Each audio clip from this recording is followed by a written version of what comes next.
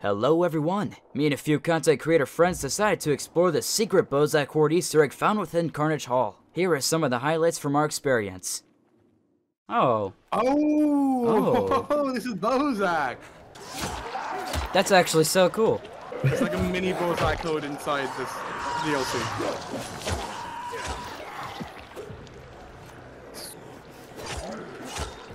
There's two there. I'm gonna go forward, kill more.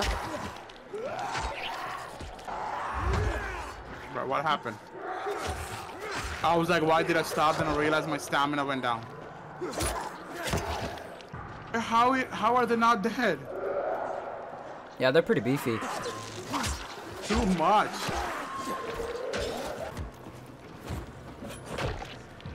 Bro, stomping is the best way to kill them. Pretty much the best way to kill any zombie in this game. Honestly, it's like almost always an instant kill. Yeah. Okay, my friend. I have your back. Hell yeah. Oh, it didn't even work. Alright, there we go. Didn't work. Yeah, it didn't work at first. Alright. oh, bro, it ended. No! That's it. Yep. That's Not actually so movie? cool though. Where do you get the master Wait, in the Yep, flash? I have the mask. It's in my inventory. It just gives it to you. See it now? Yeah, there it is. Oh my god, we look like Peter Zombie You. sweats. There is also another Bozak Horde Easter egg you can find by climbing the statue in the Demolisher pit outside Carnage Hall.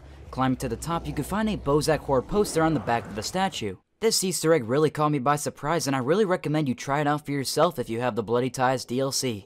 I wonder what other Easter eggs there are that we haven't done. I found Twi- yet. twist his dick, Oh hopefully.